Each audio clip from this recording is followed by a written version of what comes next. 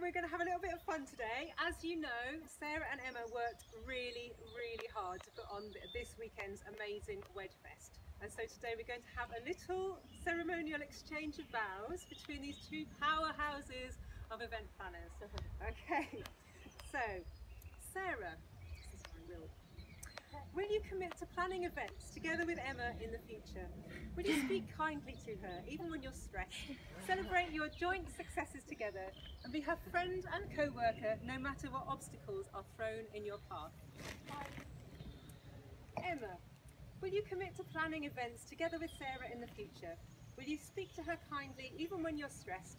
Celebrate your joint successes together and be her friend and co-worker no matter what obstacles are thrown in your path. I will.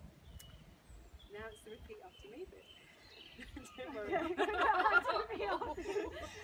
Emma, it's your turn first. Sara, we've been through so much over these last months. Sara, we've been through so much after these last few months. And I'm so proud of what we created on Sunday. And I am so proud of what we created on Sunday.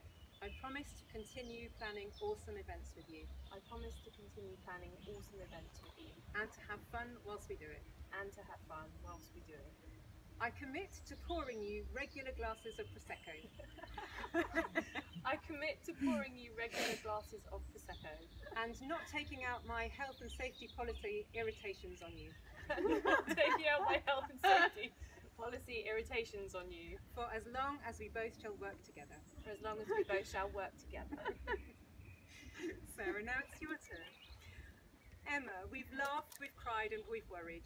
Emma, we've laughed, we've cried and we have worried. but Sunday made it all worthwhile. Sunday made it all worthwhile. I promise to continue planning awesome events with you. I promise to continue planning awesome events with you. And to have fun whilst we do it. And to have fun whilst we do it. I commit to making you a stiff vodka and tonic whenever things get tough. I commit to making you a stiff double vodka and tonic while things get tough. And to not shouting at you because I've been up late sorting stuff out. And to not shout at you whilst I've been up late sorting things out. For as long as we both shall work together. For as long as we both shall work together. You may now hug your co-worker. Ah!